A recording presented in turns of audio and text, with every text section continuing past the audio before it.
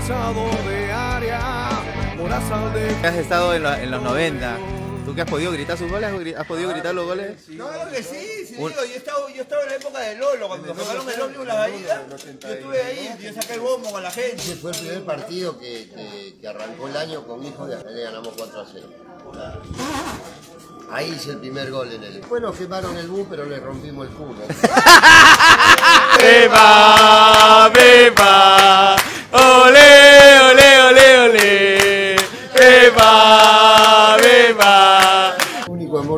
amor, amor es cristal.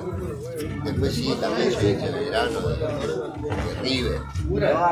Pero en Bolivia creo que fue un ¿Qué puedes decir de la Pepa, hermano? Palabritas. No, hermano, es un goleador de aquellos, hermano, un de aquellos.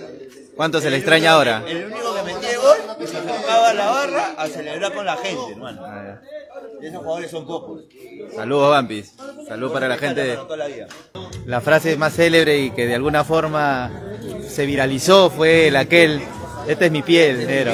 Esta es mi piel, negro. No, vergüenza, eh. No tenga vergüenza. Puta, lo cagaste, esa noche. Su madre de, de Tigre, ¿no? El negro Navarro me estaba hinchando los, hinchando los huevos ese día.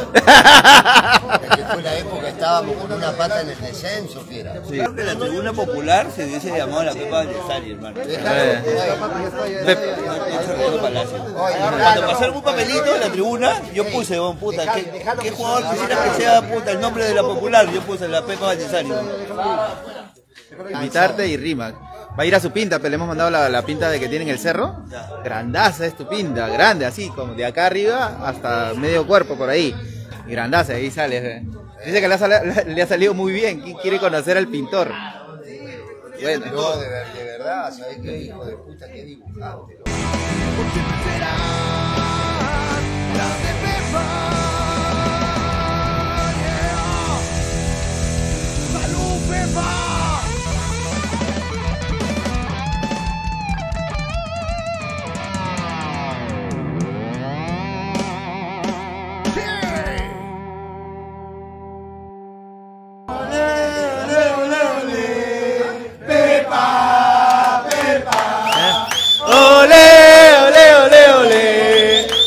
¡Pepa, Pepa! ¡Oh! ¡Roberto no se va! ¡No se va! ¡No se va! ¡Roberto no se va! ¡Oh! ¡Roberto no se va! ¡No se va! ¡No se va! ¡Roberto no se va!